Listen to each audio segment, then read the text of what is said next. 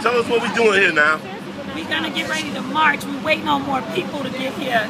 Okay. Uh, now we marching for what now? Tell the people. Tell the people. House and Hip Hop Community Unity Weekend, and we're also marching in Chicago on behalf of Dr. Martin Luther King's memory in Washington D.C. So that we're trying to put it all together. Although we couldn't go to Washington, we're here still representing peace.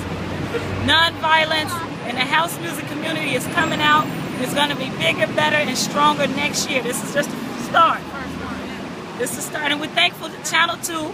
We did see it last night on Channel 2 and the other news media that covered it.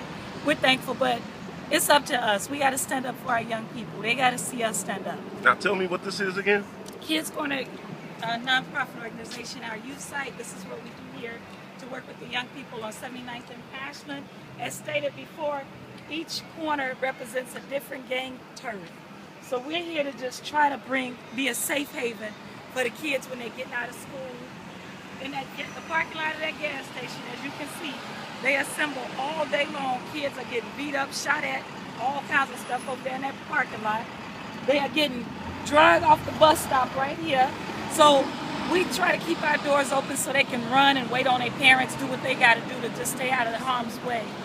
Um, it's a lot of activity that goes on right here. Now you were saying something about a lock being on the door yeah, because we, of what? Yeah, our alderman, my uh, landlord. We're trying to come up with. Money. We lost our funding, so I didn't get money to to uh, continue on. So we're okay. we're doing fundraising initiatives. Okay. To be able to get the door locks back off and the doors open like we want to, and he's giving us the time to do that. He don't kick me out. He just come lock the door. And school starts back this week, so we yeah. need to get this effort moving. Yeah, so that's why we out here to bring the attention to it. And the and thing about this this store was the community put it together. It was an abandoned building. We had homeless people off the streets come in. They put up the wallpaper. We got all kinds of stuff donated to us. Around Christmas time, we have 7,000 kids out here giving out toys just out of these two rooms. And the community don't want to see us go. So they're rallying for us to be here more than for us to be gone. Okay. So that's why the landlord, he's still, I'm, I'm thankful for him because he don't have to do that.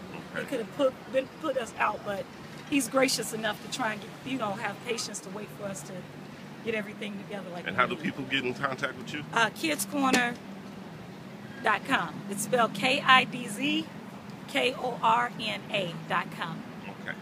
Thank you so much. All right, and thank these are some of the faithful househead dedicated members. This, the ones that was on time. yes. And this, uh, the best promoter of the of the planet. All right. Yeah, so faithful househeads. Okay. And the best dancer. Best dancer. Best dancer. Number one. Yes. I think we Facebook friends or something. well, all right. All you right. On WGN. You seen her. You see her everywhere. There she, yeah. We're gonna give her the trophy.